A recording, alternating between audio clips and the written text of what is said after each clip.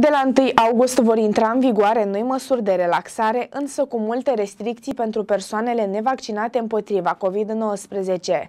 Spre exemplu, barurile, cluburile vor fi deschise până la ora 2, dar vor avea acces doar persoanele vaccinate. Secretarul de stat Raed Arafat susține că limitarea accesului persoanelor nevaccinate ar fi o soluție intermediară, închiderea unor spații precum restaurante în cazul creșterii ratei de infectare, susținând că nu este vorba de discriminare. Am văzut și la televizor că e obligatoriu ca să se facă vaccinul ăsta. Și până la urmă cred că se va obliga populația să facă vaccinul. Considerați totodată că este o discriminare față de cei care nu s-au vaccinat, dacă s-ar introduce aceste restricții? Păi cred că da, va fi o discriminare pentru care nu fac vaccinul. Eu, eu pur și simplu l-am făcut.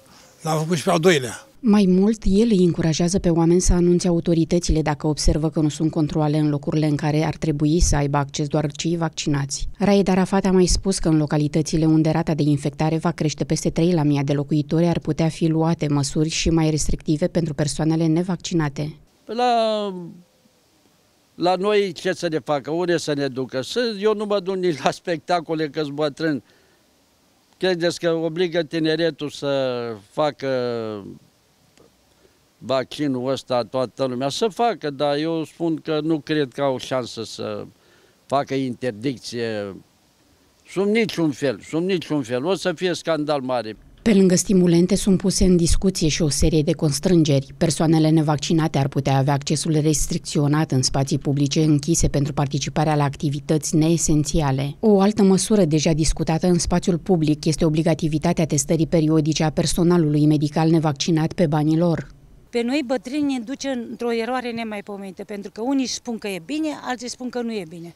Înțelegi? Și oamenii sunt unii bătrâni și sunt fricoși, dar mie nu mi-e frică de moarte. Eu mi-am făcut, știu că sunt, dar zice că facem și pe al treilea. Eu cu al treilea eu n-aș fi de acord, dar ce să facem? Dacă așa o să fie, Mergem cu lumea înainte. Printre posibile măsuri, Barna a anunțat că românii vor putea merge la mall în weekend doar dacă sunt vaccinați. De asemenea, vicepremierul a precizat că sunt luate în calcul tombole cu utilaje agricole pentru cei care se vaccinează pentru a încuraja campania de vaccinare în mediul rural.